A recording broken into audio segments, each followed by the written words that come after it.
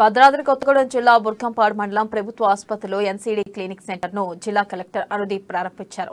నూతనంగా ఐదుగురు డాక్టర్లను క్లినిక్ సెంటర్కు కేటాయించారు. మొత్తం ఏడుగురు డాక్టర్లు బుర్కంపాడు ప్రజలకు సేవలు అందించనున్నారని జిల్లా కలెక్టర్ వెల్లడించారు. నాన్ కమ్యూనికబుల్ డిసీజ్ క్లినిక్ ద్వారా బీపీ షుగర్ వ్యాధిగ్రస్తులకు ప్రత్యేక చికిత్సలు అందిస్తున్నామన్నారు.